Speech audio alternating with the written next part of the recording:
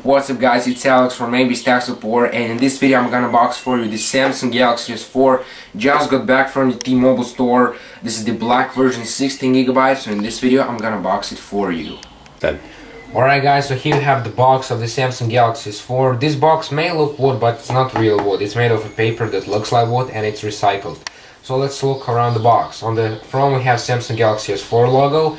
A barcode on the top and the bottom I'm not gonna show you this is line this line goes all around the box and it shows you which phone do you have. Like uh, if you have the black line then you have the black phone. If you, if you have the white line then you have the white phone.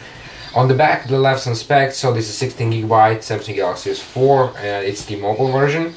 Uh, then we have it is 4G LTE capable. It has 1.9 gigahertz quad core processor. It has 5.5 inch Super AMOLED 1080p HD screen the resolution is 441 pixels per inch, 1080 by uh, 10, 920 by 1080, 30 megapixel rear facing camera, 2 megapixel front camera, GPS and GLONASS navigation system, 2600 mAh battery, uh, a lot of cool features like movement, stuff like that. I'm gonna be covering those features in the review, so stay still for that, guys.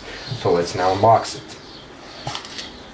So there's the phone, nothing here, wrapped in plastic. We're gonna look at it just a moment this up and inside we have our booklet. We have a sticker warranty card. Uh, then we have our like quick start guide and another user guide for a camera. Shows the cool features that this camera has like drama shot and stuff like that. Uh, then we have our micro USB cable for data transferring and syncing.